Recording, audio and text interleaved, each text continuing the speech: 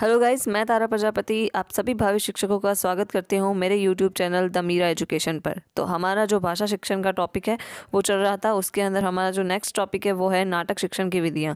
जिसके अंदर हम डिस्कस करेंगे नाटक शिक्षण की जो विधियाँ हैं वो, और जो प्रीवियस ईयर क्वेश्चन है वो, और जो ट्रिक्स हैं इनको याद करने की, वो भी मैं आपके साथ डिस्कस करूँगी। तो आप एंड तक बने रहें, और अपने नोट्स भी साथ ही साथ बनाते रहे, ताकि आपको जो रिविज़न है, उसके लिए बहुत ही ज़्यादा आसानी हो, जिससे कि आप जल्दी से इसे कवर कर सकें और ये अपना सेकंड पार्ट है। और इसी तरह की जो वीडियोस हैं, वो आप मेरे चैनल पर देख सकते हैं। प्लेलिस्ट के अंदर सारी वीडियोस जो है, हिंदी के सिलेबस की वो अवेलेबल है। तो आप वहाँ से अपना हिंदी का सिलेबस कर सकते हैं। और अगर आप नए हैं हमारे चैनल पर तो हमारे चैनल को सब्सक्राइब कर सकते हैं। तो चलिए हम शुरू करते हैं नाटक शिक्षण की विधियाँ, जिसके अंदर हमने ये डिस्कस करना है सबसे पहले कि जो उद्देश्य है नाटक शिक्षण का, वो क्या है और भरत मुनि ने इनके उद्देश्य क्या बताए हैं नाटक शिक्षण के। तो आपने देखा होगा कि किसी चैप्टर के अंदर दो तीन पात्र दे रखे होते हैं और उनको नाटक के थ्रू जो है बच्चों को समझाना होता है। तो उसे आप किस तरह से समझाएँगे ताकि बच्चों के अंदर एक अच्छा सा मैसेज जाए और उन्हें अच्छे संस्कार मिले, उनका जो चरित्र निर्माण हो? तो इसके लिए जो है आप बहुत सारी विधियों का उपयोग कर सकते हैं, जिसमें हम आगे डिस्कस करने वाले हैं। तो पहला जो है आपका कि नाटक शिक्षण का उद्देश्य क्या होता है? तो मेन जो मोटिव है कि नाटक शिक्षण क्यों करवाया जाता है, बच्चों को क्यों नाटक शिक्षण पढ़ाया जाता है?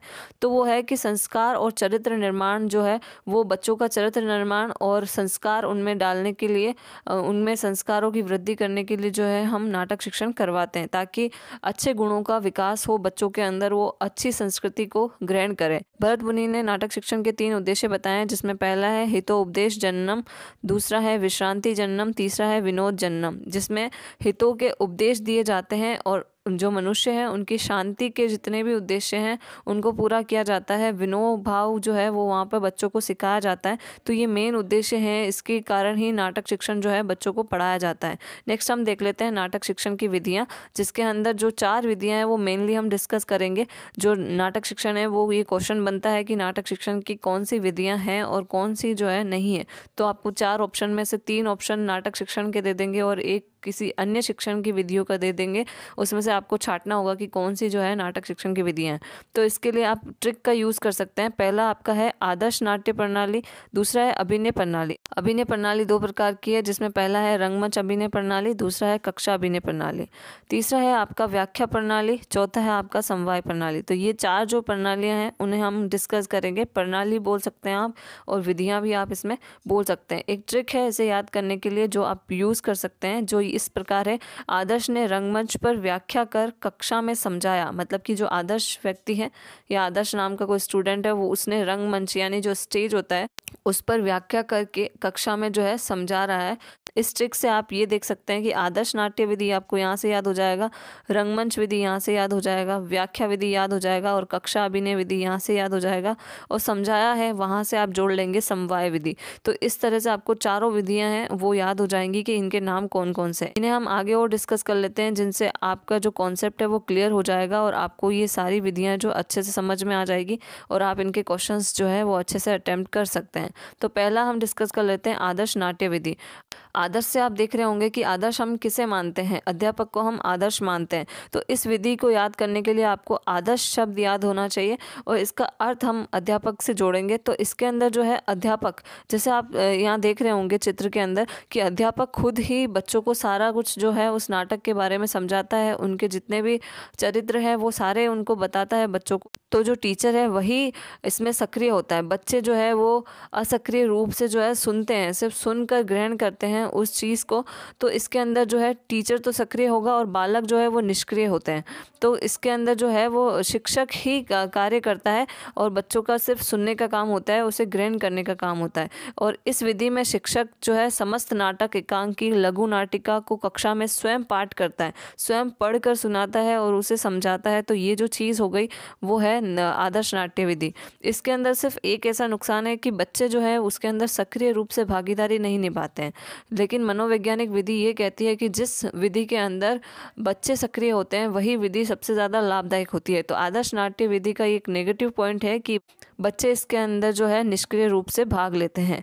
अगला है अपना अभिनय प्रणाली। अभिनय प्रणाली में आपने देखा होगा कि जैसे काफ़ी सारे स्टेज प्रोग्राम्स होते हैं, जिसके अंदर रंगमंच प्रणाली भी है और आपका कक्षा अभिनय प्रणाली। दोनों हम डिस्कस करेंगे यहाँ पे रंगमंच प्रणाली जो पहला है, आपका उसके अंदर आपने देखा होगा कि इस तरह की जो रामायण वगैरह जो पार्ट है, उसके लिए पूरा मंच सजाया जाता है और सारे कॉस्ट्यूम्स भी बच्चों को उनमें पहनाई जाती है और एक एक बच्चे को एक अलग अलग रोल दिया जाता है इसके अंदर, जिसमें कि बहुत ज़्यादा खर्चा लगता है। आपको पता है कि ये जो डेकोरेशन है, उसको करने के लिए भी खर्चा लगेगा, इनकी कॉस्ट्यूम के लिए भी जो है पैसे लगेंगे। तो इसके अंदर जो है अधिकम तो बहुत ज़्यादा होता है मतलब बच्चे सीखते बहुत ज़्यादा जल्दी हैं और बहुत ज़्यादा जल्दी सीख जाएँगे और, है ना, उनको अधिकम भी ज़्यादा होगा। लेकिन इनका जो है एक नेगेटिव पॉइंट है इस प्रणाली का, इसके अंदर आपको कॉस्ट ज़्यादा लगेगी। आपका जो पैसा है वो बहुत ज़्यादा इन्वेस्ट करना पड़ेगा।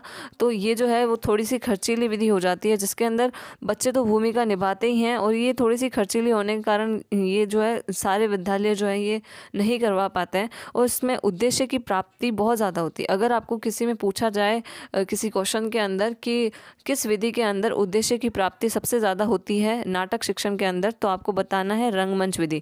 रंगमंच विधि के अंदर ही उद्देश्य प्राप्ति सबसे ज़्यादा होती है, क्योंकि लाइव बच्चे जो हैं, वो उसे देखते भी हैं और खुद जो है उसके अंदर पार्टिसिपेट करते हैं, जिससे कि बच्चों का जो अधिगम है वो सबसे ज़्यादा होता है।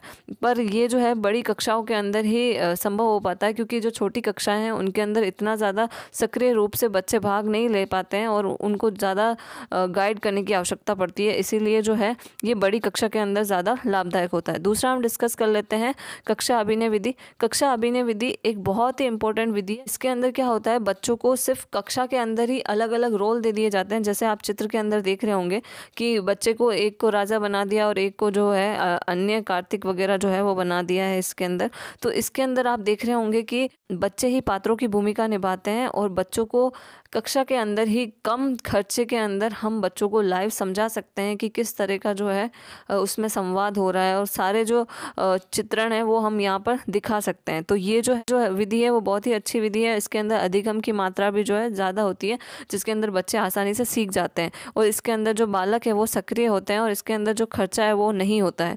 और इसके अंदर सिर्फ़ ये होता है कि शिक्षकों को निर्देश देने होते हैं बालकों को कि आपको किस तरह की भूमिका निभानी है।